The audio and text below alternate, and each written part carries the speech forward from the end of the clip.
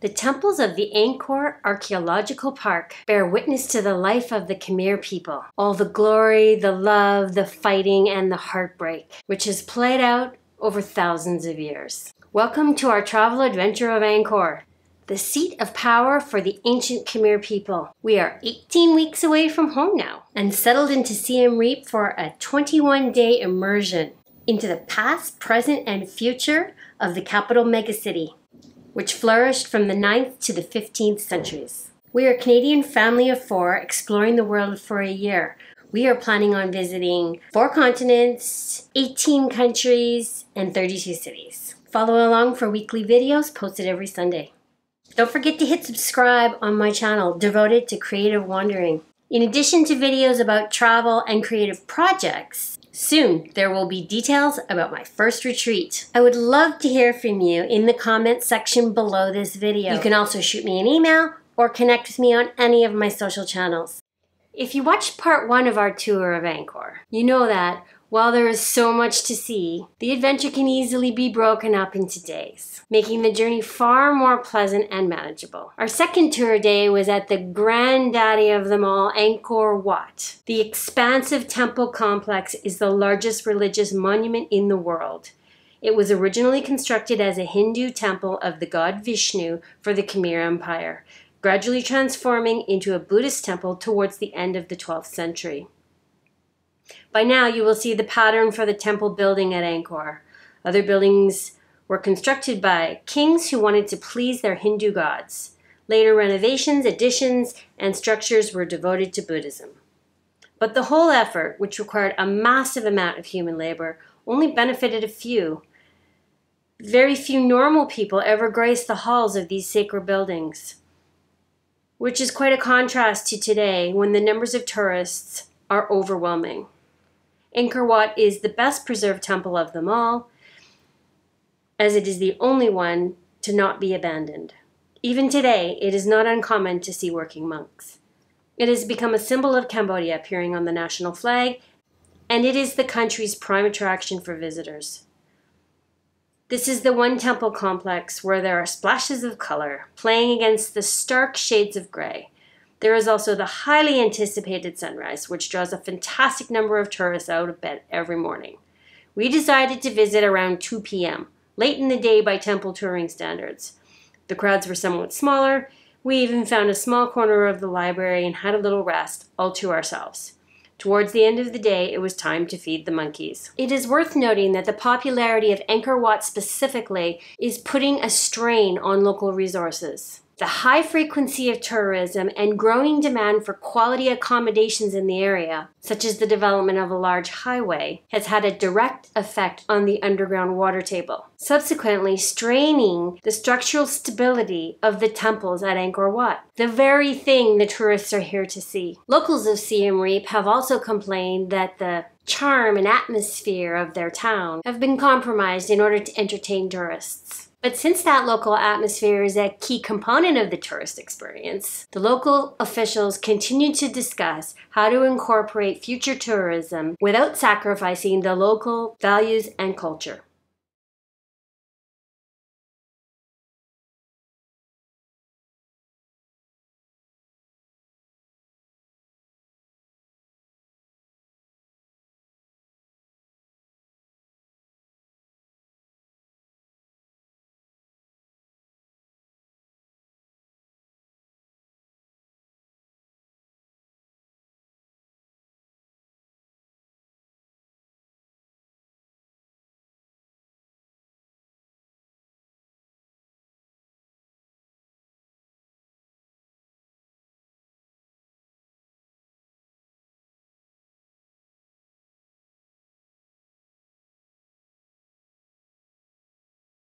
Our third day took us back towards Angkor Thom to the temple of Khan, which was built in the 12th century for King Jayavarman VII to honor his father.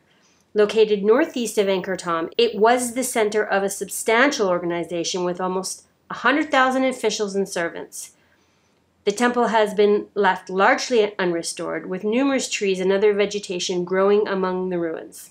After negotiating with our tuk-tuk driver, it was agreed that he would drive us to Ta Nei, rather than letting us walk. Located deep in the jungle of Angkor, this is an ideal temple for the adventurous traveler. No surprise, this was Grant's favorite spot. The handful of wanderers that visit Ta Nei are not hassled by peddlers or interrupted by the voices of excited travelers. The temple rewards them with the same charm that affected the early Angkor explorers. Archaeologists have left Ta Nei as it originally was, for the most part. Tree roots split open the temple stone, and jungle flora sprawls out across the temple grounds. Ta Nei has been the object of minimal reconstruction and clearing efforts. Our third day of temple going wrapped up with Ta Prohm, or the Tomb Raiders Temple, made famous by the Angelina Jolie movie. Ta Prohm is in much the same condition in which it was found. The photogenic and atmospheric combination of trees growing out of the ruins and the jungle surroundings have made it one of Angkor's most popular temples with visitors. The temple's stone and wooden slab records show that the site was home to more than 12,500 people, including 18 high priests and 615 dancers, with an additional 800,000 souls in the surrounding villages working to provide services and supplies. The temple amassed considerable riches, including gold, pearls, and silks. More examples of a huge number of Khmer people working to satisfy the needs of a few. I can't tell whether this was a voluntary way of spending one's life, or if this was a hardship. I'm currently reading a novel called A Woman of Angkor by John Burgess. It is a work of fiction which revives the rites and rhythms of ancient culture that built the temples of Angkor, then abandoned them to the jungle. I guess I'll have to keep reading to see if my answers have questions, at least in the form of fiction. Our fourth day was spent at a complex known as the Roluos Group. These are some of the earliest permanent structures built by the Khmer. They mark the beginning of the classical period of Khmer civilization, dating from the late 9th century.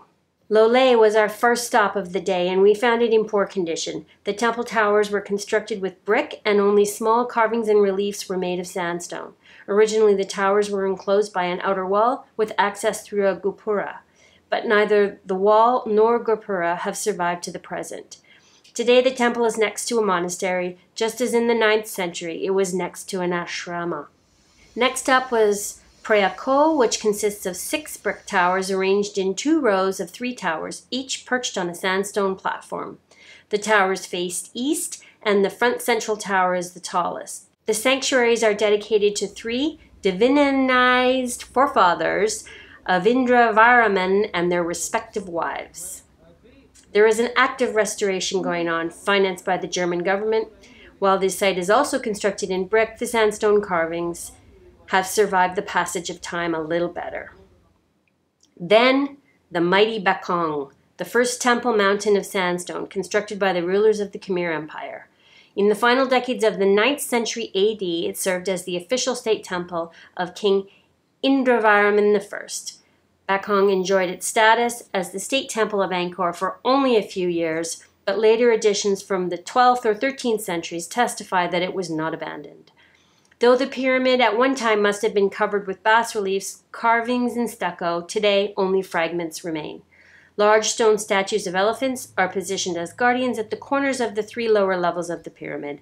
Statues of lions guard the stairways. Thanks for watching part two of our temple tour. This has been the best history lesson a person could ever ask for. But I think there is a price for our footsteps here that we have not paid for. I've been careful to take photos which are pretty much devoid of people, patiently waiting for my turn in the hot sun. What we have not shown are the hordes of tourists. Some temples are far less crowded than others, but it is important to understand the load of people before you set out. And it makes me wonder about the sustainability of it all. I'm not sure what the right way is to manage this treasure, but over time, things will have to change. For now, we had free access to anything we wanted to see, which ended up being 10 different temple sites. With our seven day pass, the price was a mere 72 US dollars each. Such a small price to pay for a rewarding experience. Thanks for watching. For more information about our trip and creative inspiration in general, head over to dailycreatives.com. You can find links to my three favorite things books, videos, and courses. I update the blog two times per week with my thoughts on all things creative. See you over there.